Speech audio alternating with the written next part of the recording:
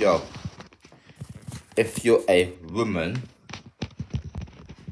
and your partner or your family or your partner's family control what you wear, you should wear whatever you want to wear.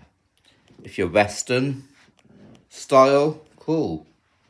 But better. I don't know. I'm not, I'm not saying definitely better, but I'm just saying better than being controlled what to wear.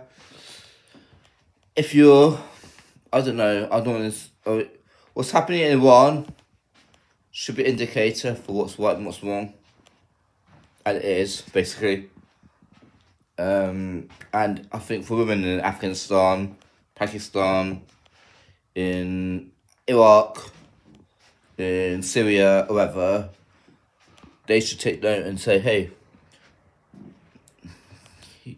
what's happening in Iran is right. No, it's not right, it's right. What's happening in Iran is unfortunate, a very unfortunate, sad consequences It's, is what happens. And it just happens that an unfortunate, shocking incident happened in Iran